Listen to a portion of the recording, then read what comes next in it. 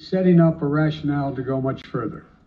This is the beginning of a Russian invasion of Ukraine, as he indicated and asked permission to be able to do from his Duma.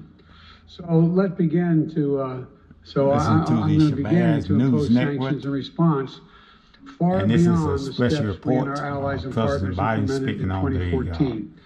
and if Russia goes further with this invasion, we stand uh, prepared to go further crisis. as with sanctions. Who in the Lord's name does Putin think gives him the right to declare new so called countries on territory that belong to his neighbors? This is a flagrant violation of international law and demands a firm response from the international community. Over the last few months, we've coordinated closely with our NATO allies and partners in Europe and around the world to prepare that response. We've said all along, and I've told Putin to his face some month, a month, or more than a month ago, that we would act together. And the moment Russia moved against Ukraine, Russia has now undeniably moved against Ukraine by declaring these independent states. So today, I'm announcing the first tranche of sanctions to impose costs on Russia in response to their actions yesterday. These have been closely coordinated with our allies and partners and will continue to escalate sanctions if Russia escalates. We're implementing full blocking sanctions on two large Russian financial institutions, VEB and their military bank.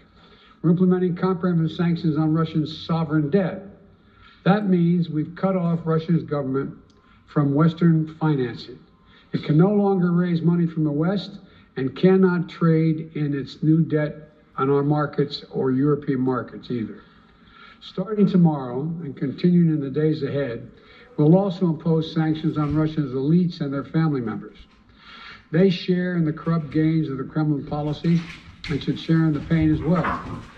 Because of Russia's actions, we have worked with Germany to ensure Nord Stream 2 will not, as I promised, will not move forward. As Russia contemplates its next move, we have our next move prepared as well.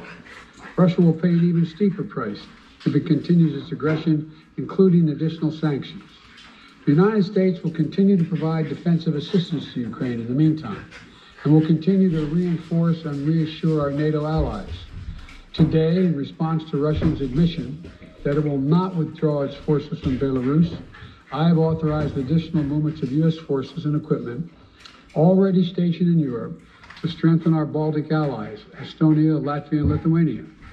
Let me be clear these are totally defensive moves on our part. We have no intention of fighting Russia.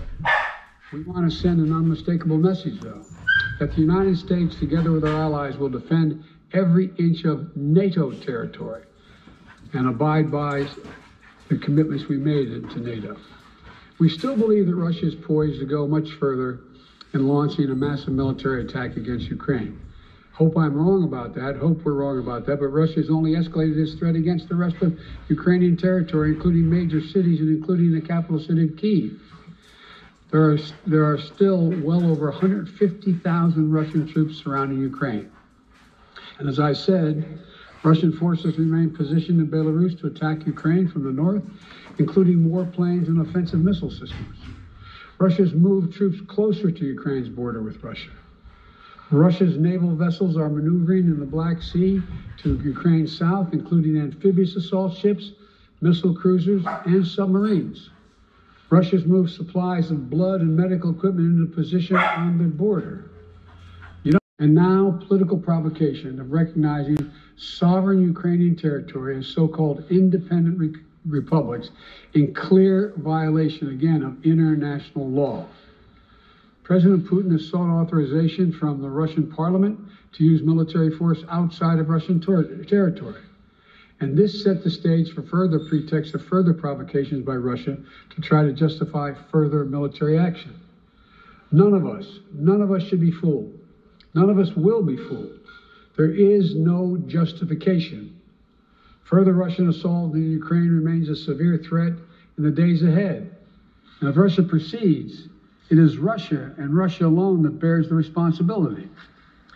As we respond, my administration is using every tool at our disposal to protect American businesses and consumers from rising prices at the pump. As I said last week, defending freedom will have cost for us as well and here at home. We need to be honest about that.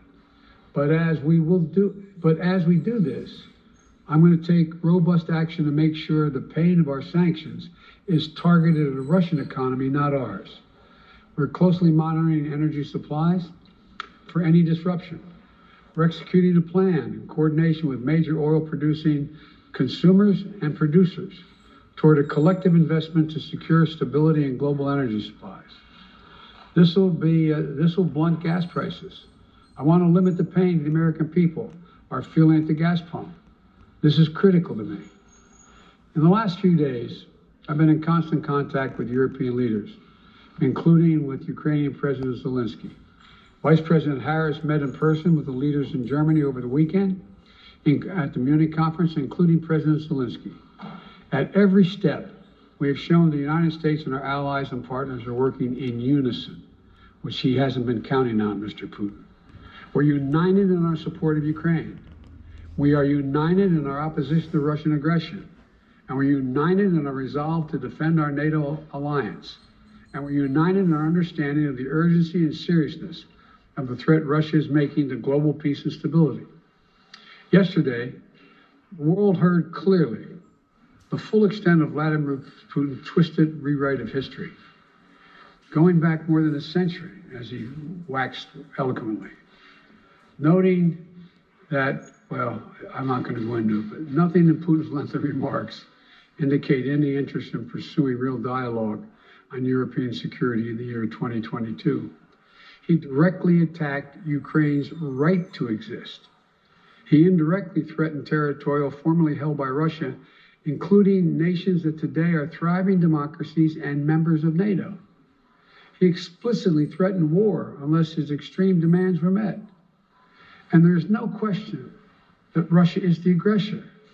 So we're clear eyed about the challenges we're facing. Nonetheless, there is still time to avert the worst case scenario that will bring untold suffering to millions of people if they move as suggested. The United States and our allies and partners remain open to diplomacy if it is serious. When all is said and done, we're going to judge Russia by its actions, not its words. And whatever Russia does next, we're ready to respond with unity, clarity, and conviction. We'll probably have more to say about this as it moves on. I'm hoping diplomacy is still available. Thank you all very much. President Biden there in the East Room, not taking any questions, likely given the gravity of the moment the world is now facing. He did talk about Vladimir Putin and his announcement just 24 hours ago that he now recognizes two separatist regions in eastern Ukraine as independent countries. And the president saying just moments ago, Putin bizarrely said these regions uh, do not belong to Ukraine. He said he's setting up the rationale to take more territory at the beginning of a Russian invasion of Ukraine. The president going on to say, who in the Lord's name does Putin think gives him the right to declare a new so called uh, countries on territory that belong to its neighbor? In making the case that the time for harsh sanctions uh, has now arrived. He talked about thousands of U.S. troops already positioned uh, in Europe, being moved towards Eastern Europe as a show of force, a defensive move, but making sure knowing that not only he's talking to the American people, but to the world and to Vladimir Putin, that U.S. troops and the U.S. has no intention of fighting uh, against or uh, any kind of military conflict with Russia, making that very clear. He also warned the American people yet again that there will be impacts here at home, likely when it comes to energy prices and beyond with the greater economy. I want to get right to Mary Bruce, our senior White House correspondent, because Mary, he listed those uh, sanctions, the harsher sanctions, new sanctions from just the ones uh, that he imposed 24 hours ago. And you and I were talking before we came on the air about listening very closely how close he would get to Vladimir Putin. Uh, he didn't go to him directly, but he left open the possibility that the next round will even be more harsh given the next move by Russia. Yeah, David, it is clear that the president is doing this in waves. He said this is just the first tranche. The president taking his first actions to hit Russia directly, going after two large Russian banks, cutting them off from raising money from the West going after Russian elites, some of those in Putin's inner circle, and of course, noting that the Nord Stream 2 pipeline between Germany and Russia will not go forward. But the president making it very clear that he is reserving the option to go even further because, as he said, He thinks that Russia is setting up a rationale to take more territory. If Putin goes further, the U.S. will go further in taking action against him, including possibly sanctioning Putin himself. The question, though, David, is whether any of that, this threat, is going to deter Vladimir Putin, because as you well know, he's already dismissing and brushing this off. He knows the possibility that he's going to face these hard sanctions, and right now it doesn't seem to be doing anything to stop him. And Mary, real quick before I move on from you there at the White House, there had been some talk overnight and into this morning about whether or not uh, Russian troops heading into these Russian separatist regions of Ukraine, whether or not that constitutes uh, an invasion. The president and members of his team earlier today made it clear, but the president just now making it clear that the invasion uh, has begun, uh, not mincing any words there. Exactly. The invasion has begun. This is underway. Those at the White House top officials here have also been noting that Russia has already uh, had forces in this area since 2014. The question is whether the Vladimir Putin is going to go a step further and send troops further into Ukraine, possibly even into Kiev. President Biden making it clear that is certainly still a very real possibility. All right, Mary, stay with us there from the White House. I want to bring in our chief global affairs correspondent, Martha Raddatz. She's live in Ukraine. She's been there for several days now.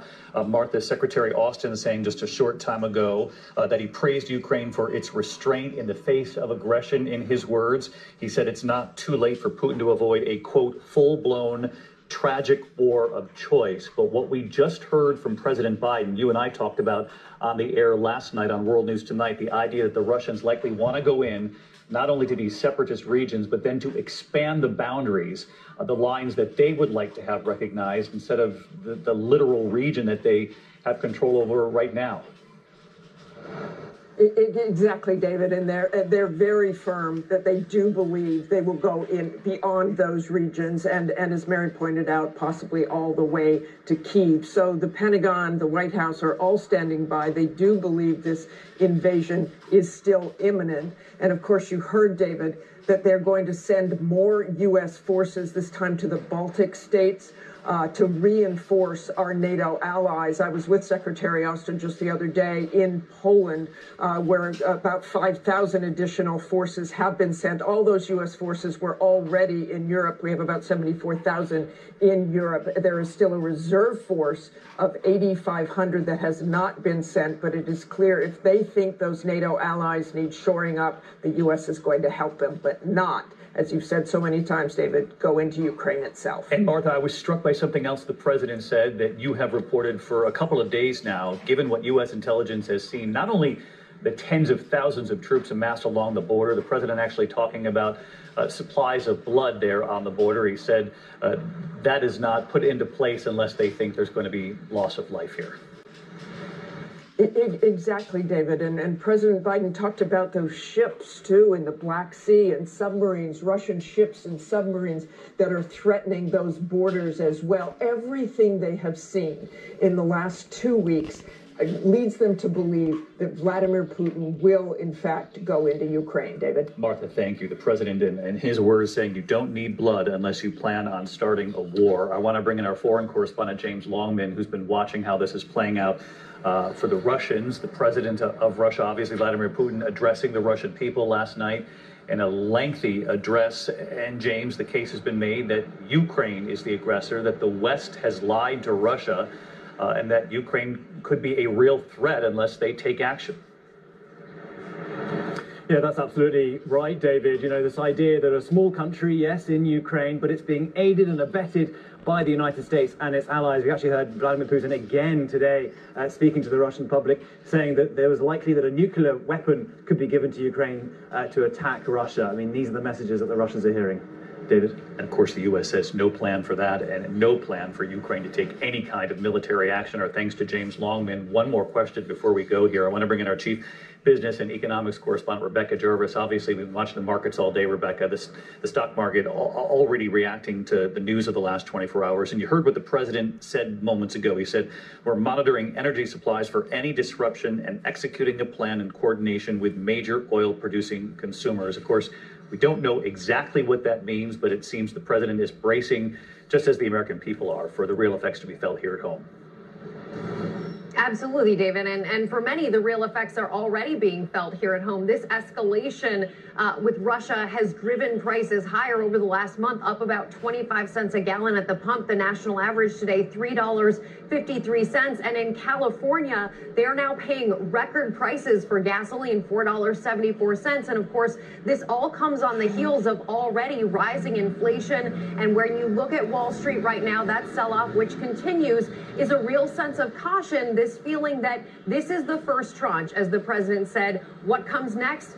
Well, the ball is up in the air, and that could drive prices at the pump much higher and certainly drive greater volatility on Wall Street, David. Unsettling because we could be facing. Uh, uh, perhaps the biggest conflict in Europe since World War II. And of course, Americans at home know that they're about to feel this as well from an economic standpoint. Rebecca Jarvis, uh, James Longman, Mary Bruce, Martha Raddatz, our team on this all day long. Our coverage will continue on ABC News Live, abcnews.com, and of course, I'll be back with the entire team for World News Tonight. I'm David Muir in New York. And this has been a special news report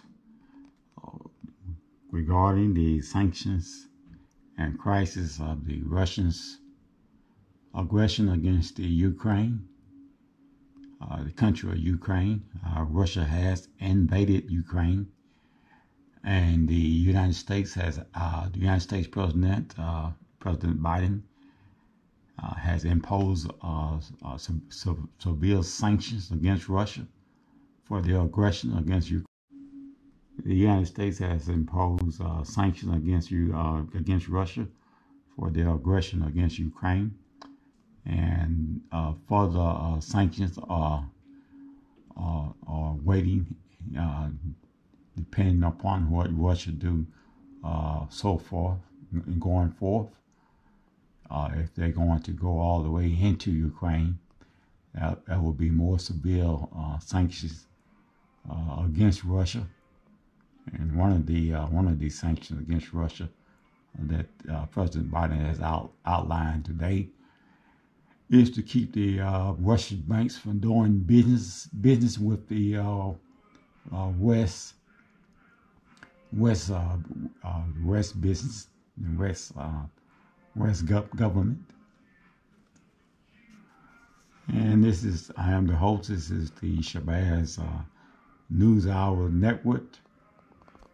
We were covering the uh, invasion of um, Ukraine by the Russian government. And I am the host, Hamad Shabazz, and we thank you for watching.